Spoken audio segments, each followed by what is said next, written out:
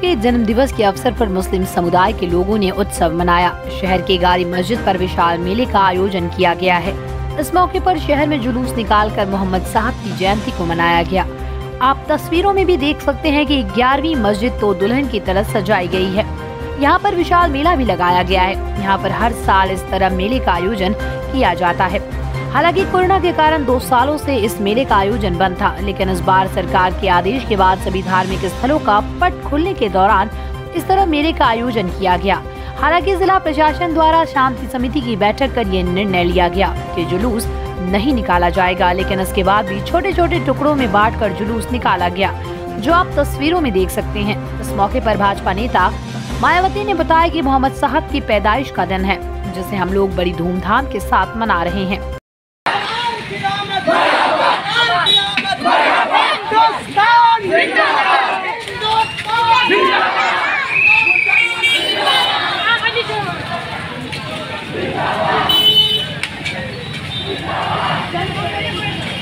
Latest खबरों के लिए देखते रहिए एम न्यूज़ जेड न्यूज़ और ताज़ा अपडेट पाने के लिए चैनल सब्सक्राइब करना ना भूलें।